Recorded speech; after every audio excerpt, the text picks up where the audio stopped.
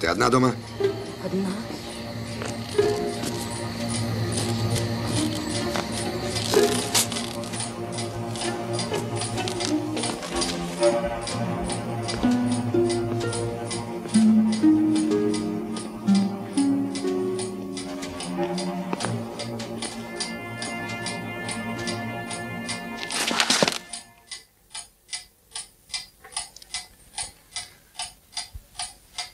Это еще что я вот таким пацаном был под котлами ночевал.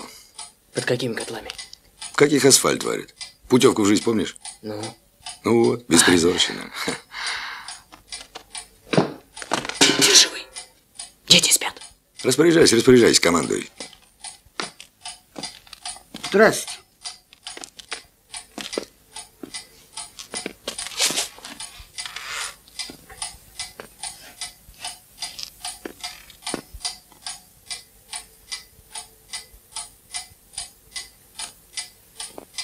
Маркелова Вера Степановна? Я самая. Да вы проходите, садитесь. Мы вынуждены сделать у вас обыск. Так что, если есть деньги, драгоценности, оружие, просим сдать добровольно. Оружие. Да какое же у меня оружие-то? А ценности? Ценности мои вон! На кровати сопят. А больше у меня ничего нет. Хлебные карточки да денег 40 рублей. Если вы не возражаете, мы сейчас пригласим понятых и начнем обыск. А ищите. Чего найдете, то ваше. А вас не удивляет, гражданка, что в обыск у вас делают? А чего удивляться-то? Небось, не ради удовольствия ко мне ночью в хибару пожаловали. Раз ищете, значит, надо вам. Правильно. Ну, а как живете? На какие средства, то есть, существуете? Портниха я. Вещички перешиваю. Там перезайму. Здесь перехвачу, вот перебиваемся. Кому перешиваете? Соседям, знакомым? Адреса, фамилии можете назвать? Да разные люди. Всех разве упомнишь? Не упомнишь? Ну так я напомню, если память у тебя отшибла. Вещички вот эти вот. Берешь ты у жуликов. А спекулянты и барыги, пользуясь нуждой всеобщей, толкают их в скупках и на рынках. Вот так и живете вы на чужой беде. Ну да. Гляди как. На чужой беде ты забогатела. Там и много. Хочешь, с тобой поделюсь? А ты меня не жалоби. Видишь, устроила притон для воровских игр и развлечений. Да что вы тут, Гриша, с я картами разложили? Да я, ну, пасьянс. А вы, товарищ начальник, ищите, что вам надо. А если хотите, спросите. Может, я и сама скажу.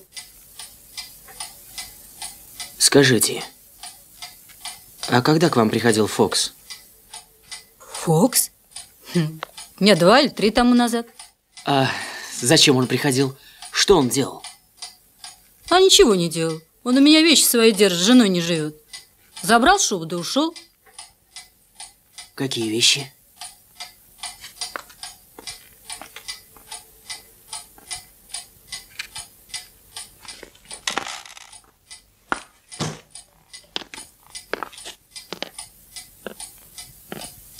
А шубу вы говорите, какой он взял? Да черный вроде под котик, сложил в налочку и унес.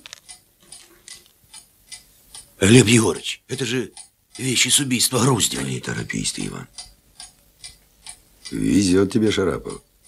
Ну давай, давай, раскручивай дальше. Скажите, а вот Фокса вы откуда знаете? Знакомая одна привела как-то, сказала, что приятель командировочный, ну а с гостиницами сами знаете. Ну, просила приютить, а он мне платил помаленьку. А Фокс в прошлый раз, когда у вас был, э, как выглядел? Ну как, человек приличный, одет по-военному, но без погон, конечно. Ну а что вы конкретно можете сообщить? Ну, что сообщить? Мужчина культурный, слова плохого не скажет, чтоб с глупостями какими никогда. Ночевал редко, все больше вещички то Прости, принесет, занимается? то опять заберет. Нет, ничего плохого сказать о нем не могу. Приличный гражданин. Чем занимаешься? Вера Степановна, ну вот конкретно вы могли бы определить, но все-таки в вашем доме было много разных людей, и жуликов в том числе, ну, он преступник или нет? Да нет, он научной работой занимается. Посмотри, Вер, вот этот. Не, вроде не он. Что значит вроде? Ты что, его не рассмотрела, что А ли? чем мне у него смотреться? Небось, не замуж уходить. Не, Фокс другой, он вроде тебя, шустрый такой, только покрасивший маленько. А про чемодан что сказал? Когда зайдет? Ну, сказал, на днях загляну, тогда я вещи заберу. Перед отъездом. Ага, ага. А вот знакомая, которая Фокса привела, ваша знакомая, а она чем занимается? Модельерша в доме модель работает. Что, тоже ей вещь перешиваешь? Не, она как артистка одевается. Я ей просто не под одеяльники прострачиваю. Можете назвать имя, фамилию, адрес? Ира Соболевская.